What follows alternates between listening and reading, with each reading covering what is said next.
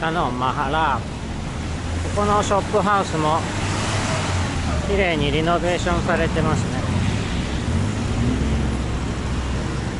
ここは23年前に1回来たことあるんですけどもね。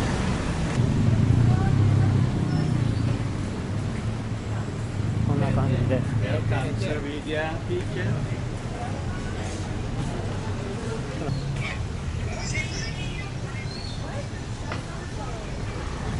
んな感じでね。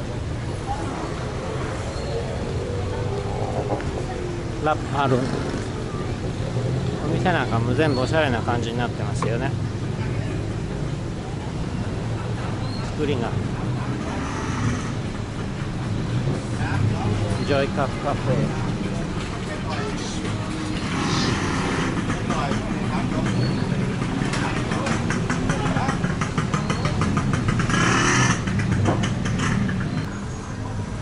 ロムディカフェホステル。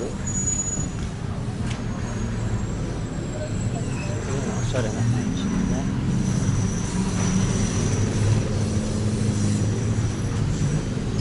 もうタイにいたバンコクに住んでた頃なんで十数年前ですけどもあのこの近くにマッサージスクールがあってそこで1週間通ったことあるんですよね。月曜日から金曜日までだったかな。で最終日に修了試験みたいなのやってそうすると修了証書みたいなのがもらえるっていう。1日確か5時間か6時間やってそれを月曜日から金曜日までだったかな。ここかな。この通りだったかな。そこに何かマッサージらしいのがあるけどもちょっとはっきり覚えてないんですね。その頃ってでも今みたいなマハラーズ通りのも全然なくて結構食べ物屋に苦労した覚えがあるんですけども。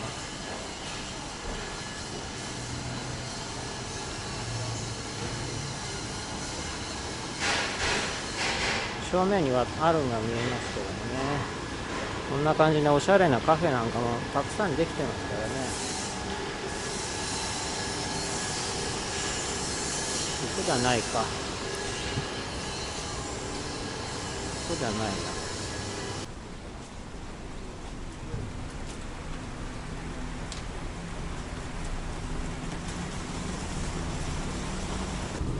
雨宿り中です。タイのセブンイレブン恒例のセブンイレブン券毎月配ってます。ヨーティマンリバーウォークっていうショッピングモールみたいな感じのがあるんですよね。川沿いに。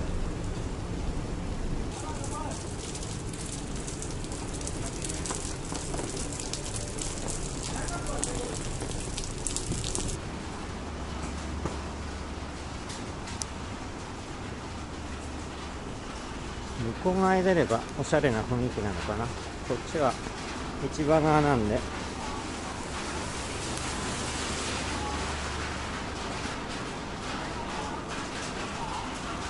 オニオンホステル。ここにも干してるある。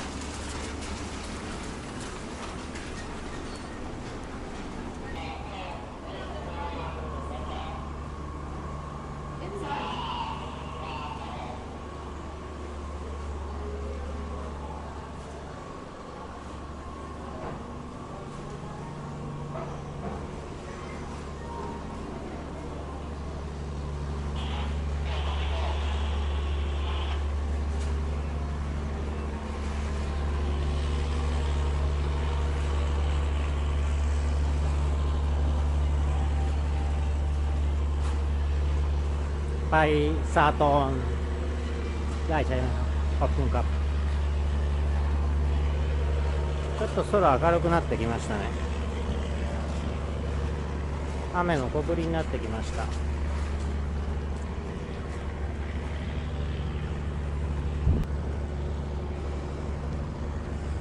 こうにワアルンが見えますね。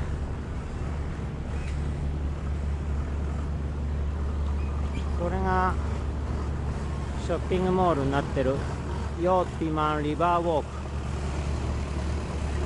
結構最近できたはずなのにもうだいぶ古びて見えますね。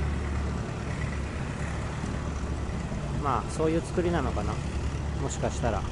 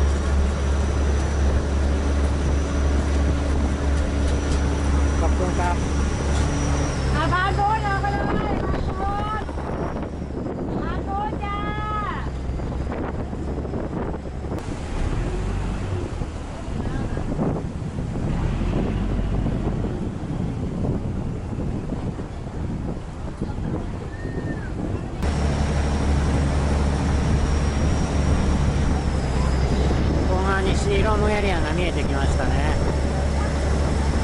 あの崩れたような真ん中に見える一番高いのがマハナコーンっていうビルですけども。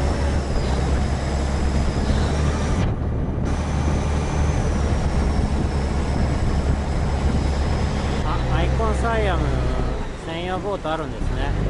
これで対岸に渡れるんだ。フリーシャトルボート。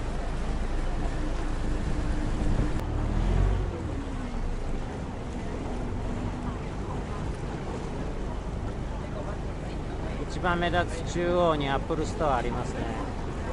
その下がルイ・ヴィトンで右側がカルティエ。エルメスとかボッテガ・ベネタとか入ってますね。あっちはグッチ。なんか変わった建物ですよね。この隣の高いのはコンドミニアムでしょうね。でこっち側にヒルトンミレニアムヒルトンが入ってます。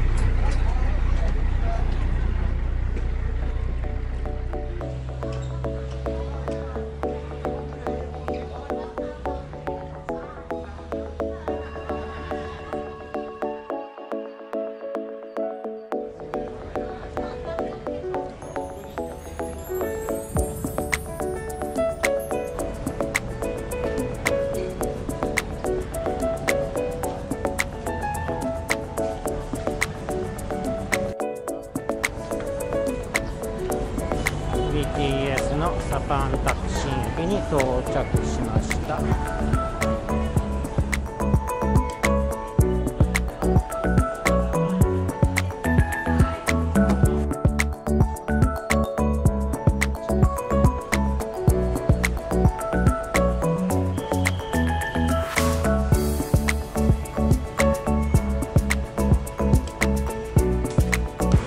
パンタクシー